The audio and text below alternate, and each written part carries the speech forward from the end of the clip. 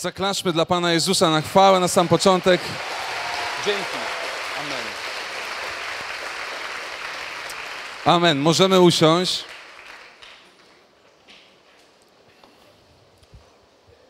Kto z Was dzisiaj jest spragniony spotkania z żywym Bogiem? Ręka w górę.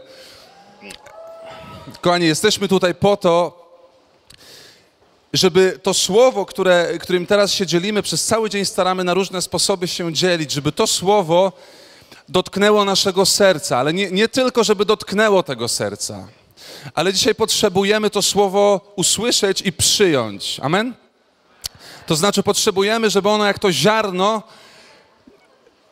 znalazło się w Twoim sercu i, i, kiedy wyjdziesz stąd, kiedy zaczniesz życie po tej konferencji, byś zobaczył owoce tego czasu. Byś zobaczył, że coś się zmieniło, byś zobaczył, że Twoje życie jest inne, a kiedy Twoje życie będzie inne, życie ludzi dookoła Ciebie również się zmieni. Amen? I to jest, myślę, cel Pana Boga, cel tego spotkania, cel tego, po co tu jesteśmy. Dlaczego za, zapraszaliśmy Ducha Świętego? Chciałbym jeszcze na moment się na tym zatrzymać. Chciałbym, żebyście usłyszeli to i przyjęli w swoim sercu. Człowiek, który jest napełniony Duchem Świętym, chcę Wam to dzisiaj powiedzieć, że człowiek, który jest napełniony Duchem Świętym, może zmienić świat. Człowiek, który jest naprawdę napełniony Duchem Świętym, to nie jest przenośnia, może zmienić naród, może zacząć zmieniać inne narody, może zacząć zmieniać kontynenty. To są historie świętych, których mamy w Kościele. Chyba wieje. To Duch Święty. Szum z nieba. Dzieje apostolskie, drugi rozdział. Na wszystko jest werset, słuchajcie. Na wszystko znajdzie się werset. I co wam chciałem powiedzieć? Spójrzmy na Jezusa na chwilę. Jezus, który jest, y, Słowo Boże mówi, napełniony na maksa Duchem Świętym. Nie da, być, nie, nie da się być bardziej napełnionym Duchem Świętym, tak jak był napełniony Jezus. Przechodzi przez ziemię i czyni tak niesamowite dzieła. Dzieją się w jego życiu tak niesamowite czyny. On, on czyni te, te, te rzeczy, które są tak zdumiewające, że nie wiem, czy kiedyś o tym myśleliście, że od życia Pana Jezusa liczy się lata. Jego życie tak wpłynęło na świat, jego życie tak wpłynęło na ludzi, z którymi żyli, ale nie tylko na tych, na, na, tych, którzy żyli równolegle z nim, ale na kolejne pokolenia, że od jego narodzenia liczy się kolejne lata, kolejne wieki. Jezus był napełniony Duchem Świętym, Jezus był pełen Ducha Świętego. Dlatego to było możliwe. I zobaczcie, gdyby chodziło tylko o to, żeby Pan Jezus przyszedł, był w pełni człowiekiem, w pełni Bogiem, ale napełnionym Duchem Świętym, i gdyby chodziło tylko o to, że Jezus chciał nam siebie pokazać, przedstawić i by się skończyło, to może byśmy mogli wspominać tą historię jak jedną z wielu. Ale Jezus nie skończył na tym, kiedy odszedł do Ojca, kiedy zmarł, zmartwychwstał, nie powiedział to już koniec. Jezus powiedział: Teraz się dopiero zacznie, bo poślę wam swojego ducha. Teraz się dopiero zacznie, bo poślę wam swojego ducha. I Duch Święty zstępuje na uczniów, i Jezus do tych uczniów w trakcie swojego życia powiedział takie jedno bardzo ważne zdanie, którym chciałbym e, się z wami podzielić. To jest fragment z Ewangelii Mateusza. Powinien wam się zaraz wyświetlić. Więc prosimy szefa wszystkich szefów, wyrzucił nam na, na ekran ten fragment z Ewangelii Mateusza z piątego rozdziału, od 13 do 16 wersetu, jeśli ten fragment jest przygotowany, a jak nie, to przeczytam go wam sam. Przeczytać? Dobrze, przeczytam. Będziecie słuchać? Dobra, pięć osób będzie, to ok.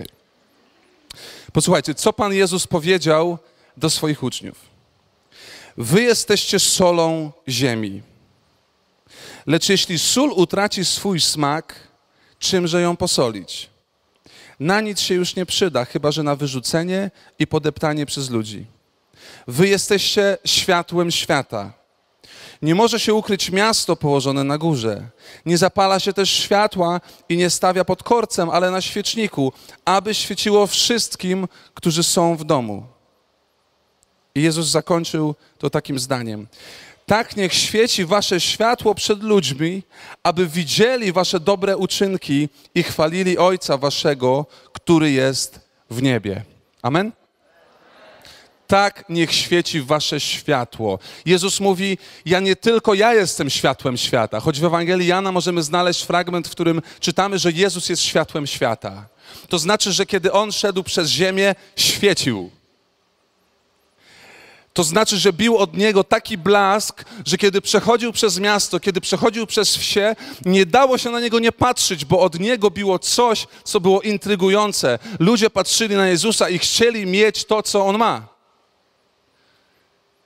To było światło. Uh, ale będzie modlitwa pod koniec. To było światło, które świeciło w nim i było światłem Ducha Świętego. I Jezus mówi teraz do swoich uczniów, mówi do tych, którzy za nim szli. Różnie, wiecie, różne powody, myślę sobie, mieli ludzie idąc za Jezusem. Jedni szli za nim, bo, bo on zmienił ich życie, uzdrowił, wskrzesił. Jeszcze inni być może szli, bo szukali, oczekiwali pomocy od niego. Jedni szukali sensacji, drudzy faktycznie wsłuchiwali się w to, co mówił, ale za nim szli. I Jezus odwraca się do nich i mówi: Waszym zadaniem jest być światłem świata. Słuchajcie, chodzenie za Chrystusem nie polega tylko na tym, by patrzeć na światło, choć od tego się zaczyna. Podążanie w dzisiejszych czasach, szczególnie za Chrystusem, nie polega tylko na tym, i to jest niewystarczające, byś powiedział: OK, chodzę do kościoła czasem i jestem katolikiem. Naprawdę nie wystarczy powiedzieć coś takiego, żeby dzisiaj być światłem. Nie wystarczy patrzeć raz na jakiś czas na jakieś odblaski światła, które biją od innych ludzi. Jezus dzisiaj chce Cię powołać i chce Ci powiedzieć: Ty bądź światłem. Ty masz się świecić. I Ty masz być tym blaskiem tego, który jest w Tobie, blaskiem Jezusa. Amen. I chcę Wam powiedzieć, że to światło jest intrygujące. To światło dzisiaj w XXI wieku również przykuwa uwagę ludzi. Ludzi, którzy mają wielkie pieniądze, ludzie, którzy są sławni, ludzie, którzy są znani. Oni przychodzą do nas na spotkania, żeby zobaczyć światło. I chciałbym zrobić taką jedną rzecz. Można tu zgasić wszystkie światła totalnie na chwilkę? Bóg zapłać. Tak się mówi na katolickich konferencjach. Chcę wam coś pokazać.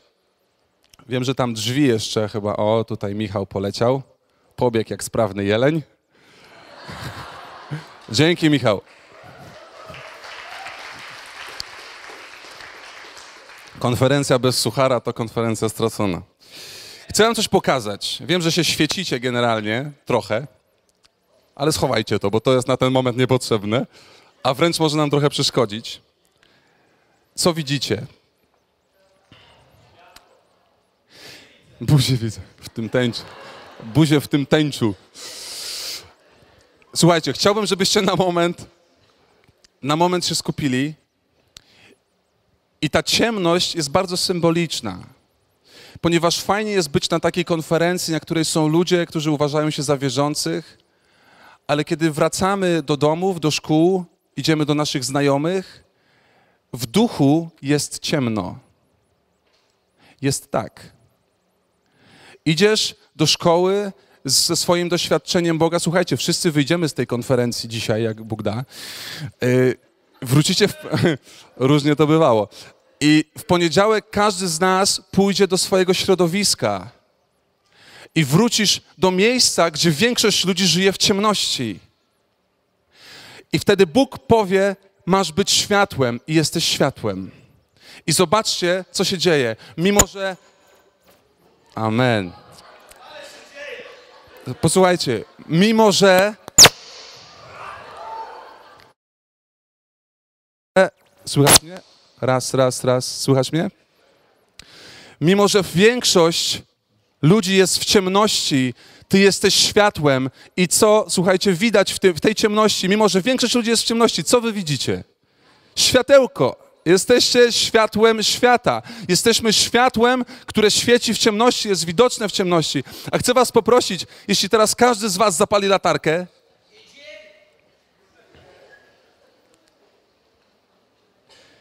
Tak może wyglądać Twoja szkoła, tak może wyglądać Twój dom, tak może wyglądać świat, do którego wrócisz, kiedy wszyscy będziemy światłem świata. Amen? Amen? Więc zapalmy światło i uwielbimy Pana Jezusa. Amen. Możesz być światłem i masz być światłem. Powiedz do osoby obok, masz być światłem świata.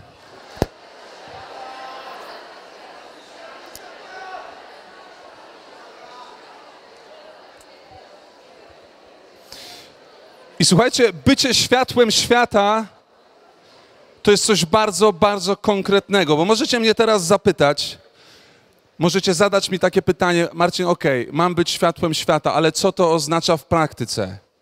Co to znaczy, że mam być światłem dla ludzi, do których pójdę? To jest bardzo praktyczne, yy, bardzo praktyczny nakaz Pana Jezusa dla nas.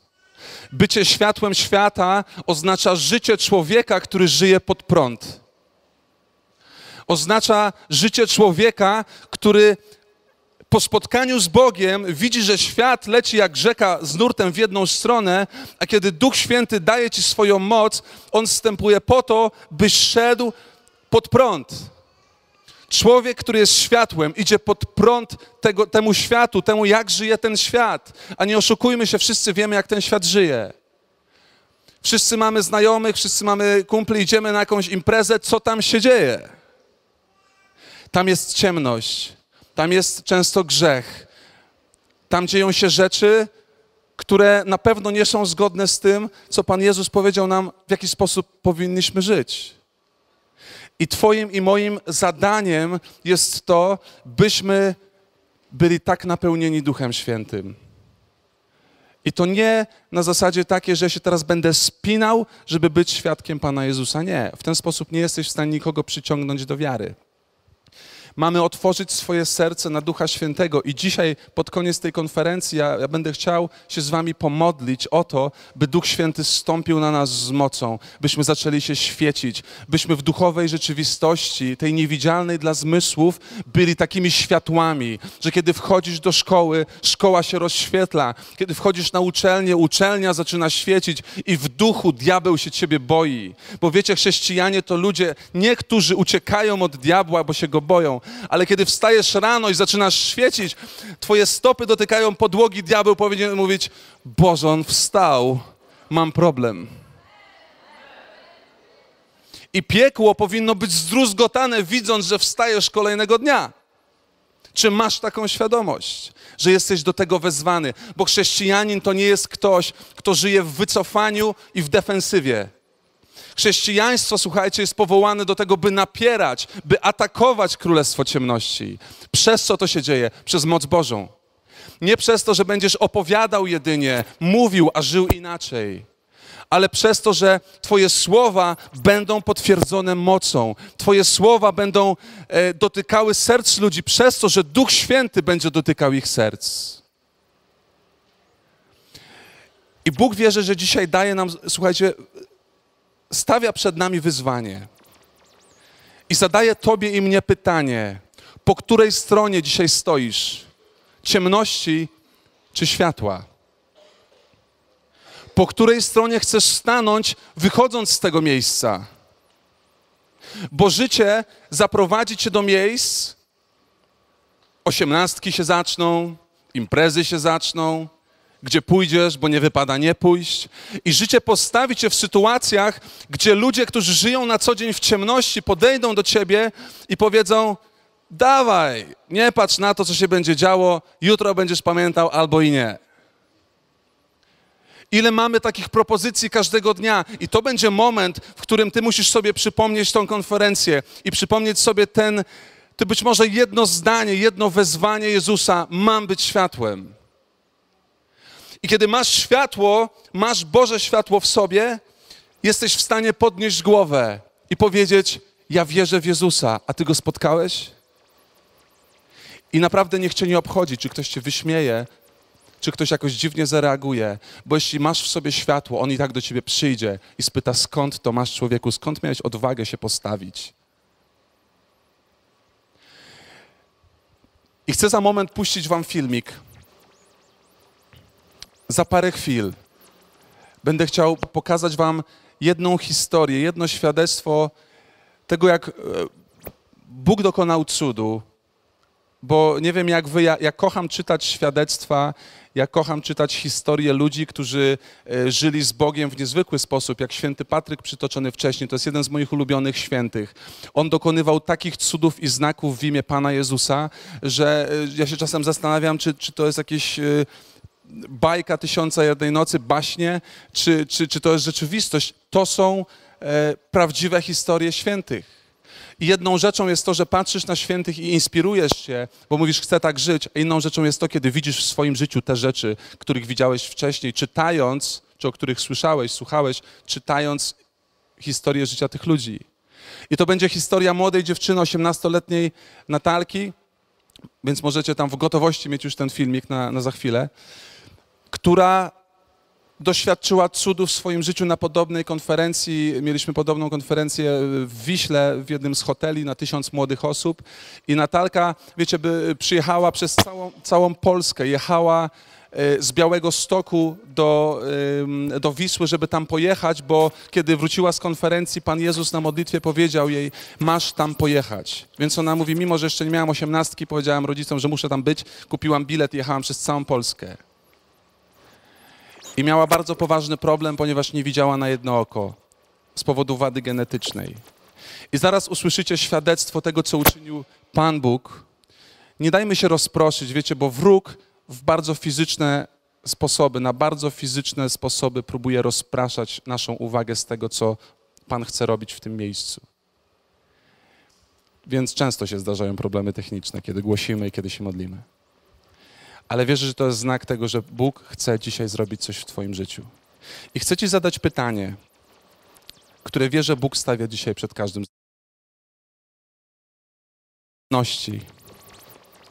Czy wolisz żyć jak wszyscy, idąc na łatwiznę, idąc z nurtem jak wszyscy, i nie, nie, będziesz wiedział tak naprawdę, gdzie Twoje życie zmierza, będziesz szedł tam, gdzie idą wszyscy, Twoje marzenia, Twoje pragnienie, Twoje, twoje życie popłynie i nikt Cię nie będzie wspominał za parę lat, bo nie będziesz rozpoznawalny, bo poleciałeś z wszystkimi. Czy może dzisiaj staniesz i powiesz, ja chcę iść za Jezusem, bo chcę być światłem świata, do tego jestem powołany. Moje życie ma większe powołanie niż życie jak wszyscy. Amen? Kto z Was chciałby, żeby Wasze życie, żeby Twoje życie odcisnęło się w jakiś sposób na, na historii tego świata? Po to żyjesz, masz powołanie, masz cel.